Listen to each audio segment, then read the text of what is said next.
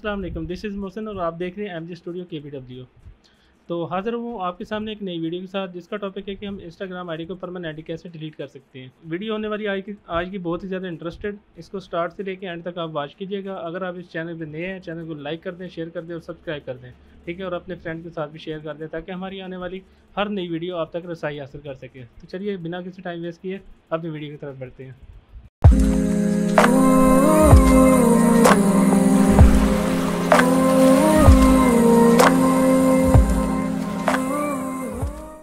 तो फ्रेंड्स हम आ चुके हैं अपने मोबाइल की स्क्रीन पे तो हम अपनी ऐप को ओपन कर लेंगे इंस्टाग्राम को।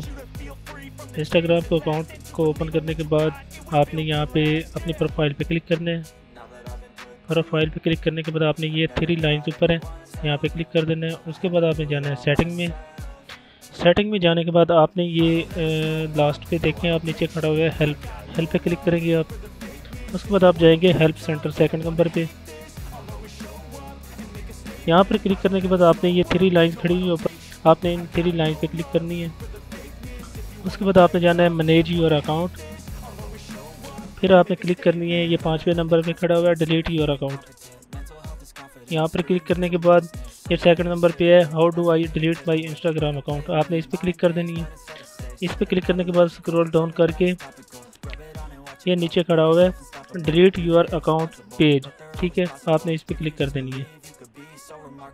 इस पर क्लिक करने के बाद आपने यहाँ पे क्लिक करना है। यहाँ पे वो आपसे रीज़न पूछ रहे हैं कि किस रीज़न की वजह करके आप इसको डिलीट कर रहे हैं। तो आपने यहाँ पे आ, कुछ भी आप लगा सकते हो लेकिन मैं यहाँ पे आपको सजेस्ट करूँगा कि आप लिखें वाट टू रिमूव समथिंग यहाँ पर क्लिक करने के बाद आपने इधर अपना पासवर्ड इंटर करना है। जो मेरी आईडी का पासवर्ड है मैं वो यहाँ पे इंटर कर रहा हूँ। इंटर करने के बाद डिलीट मिथिक मार टू ये मेरी आईडी का नाम था।